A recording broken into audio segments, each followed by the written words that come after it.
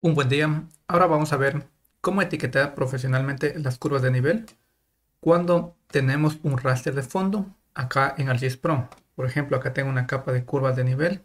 Si abro su tabla de atributos, clic derecho, abrir tabla de atributos. Acá tenemos, por ejemplo, el campo que contiene los valores de altitud o elevación, es contor. Y tenemos por tipo, tenemos cada 20 metros y cada 100 metros. Hasta ahí todo correcto. Acá también hemos aplicado una simbología para las curvas de 100 metros y para las curvas de 20 metros. Seleccionamos la capa, nos vamos donde dice Labeling. Y acá activamos Label. Acá en Fill seleccionamos, en este caso, contornos, contour, para que me muestre las etiquetas de los contornos. Ahora, para decirle que solamente de las curvas primarias en este caso, o en algunos casos ustedes pueden tener dos capas, una capa solamente para curvas primarias y otra capa para curvas secundarias. Hacemos clic derecho, el Labeling Properties. Nos vamos a, ir acá donde dice SQL, o también pueden usar el lenguaje ARCAD, pero acá con SQL más rápido. Eh, cuando tipo es igual a 100 metros aplicar. Entonces solamente me etiqueta las curvas de nivel cada 100 metros. Acá estoy en el layout, puede ser lo mismo acá en, el, en la vista general. Entonces voy a regresar en el layout. Eso también les recomiendo, por ejemplo, cuando ustedes ya tengan todo listo. Eso que lo hagan al final, cuando ya tengan todo listo. Solamente ya cuando están eh, prestos a imprimir o publicar el mapa. Ahora mismo nos vamos a ir acá en las mismas propiedades, en Position, Position, en Placement. Vamos a seleccionar Contour Placement para que me dé como curvas de nivel. Entonces vemos que me las etiqueta de esta forma. Acá depende de, gustos, por ejemplo, eh, centrado horizontal o dejamos el que está por defecto o centrado curvado. Bueno. Ya tenemos esto. Eh, si hacemos zoom, vemos que tenemos la línea acá. Y esto estéticamente no se ve agradable. Le voy a colocar acá en Labeling el color. Voy a colocarle blanco. Ahora, para romper esto, normalmente si tenemos vectores, solemos hacerlo con un halo. Pero acá vamos a hacerlo de la siguiente manera, usando máscaras. Para lo cual, vamos a crear las anotaciones de estas curvas de nivel. Entonces, vamos a ir, por ejemplo, puede ser igualmente acá en el mapa.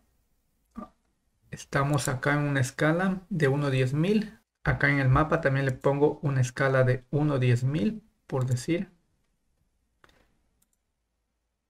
Entonces hacemos clic derecho sobre contornos. Nos vamos donde dice Convert Labels. Nos vamos a convertir a anotaciones. Acá escala 1 o 10.000. Eh, una geodatabase hay que seleccionar. Le damos en ejecutar run. Ahora ya tenemos las etiquetas como anotaciones. Pueden chequear. Ahora, ¿qué es lo que vamos a hacer? Es más o menos como un buffer, pero solamente a las etiquetas. Es decir, vamos a hacerles un recuadro alrededor. Para eso nos vamos acá en el menú analizar en Tools, acá en Toolbox, vamos a ir donde dice Cartography Tools, en Masking. Acá tenemos diferentes opciones, pero voy a seleccionar la segunda que dice Feature Outline Masks. Input Layer van a ser las anotaciones.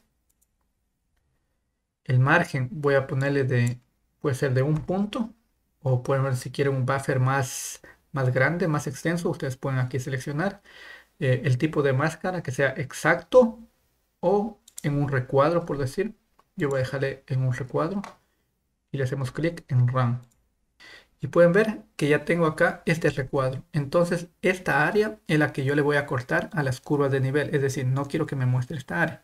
Por ejemplo, acá también puedo ponerle exacto para que vean eh, la diferencia. Me va tomando la forma de las curvas de nivel. En este caso podría ponerle un 3, un valor de 3. Si les gusta así o simplemente dejamos de una forma inicial, digamos en box con 1. Muy bien. Ahora lo que vamos a hacer es desactivar esta capa del, del polígono. Dejamos las anotaciones y simplemente nos vamos a la capa contornos. Acá contornos y nos vamos donde dice eh, labeling, eh, perdón, feature layers y acá donde dice masking. Entonces en masking voy a seleccionar esta capa que creé de la máscara. La selecciono y pueden chequear que aquí la máscara ya me rompe aquí las curvas de nivel, entonces nos da una mejor apariencia. Inclusive por ejemplo, si acá, por ejemplo, se choca con el río, suponiendo, yo quiero también aplicarle esa máscara, entonces selecciono la capa eh, Rivers. En Masking, selecciono la máscara. Y ya me deja libre también la capa de ríos para que se vea la etiqueta.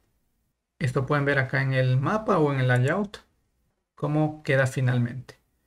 Muy bien, como pueden ver es algo muy sencillo, Espero que sea muy práctico y mejore sus presentaciones para los mapas finales. Esto ha sido todo. Si les gustó, no olviden darle una manito arriba a este video, seguirme por todos los medios sociales y suscribirse en mi canal. Muchas gracias por su apoyo.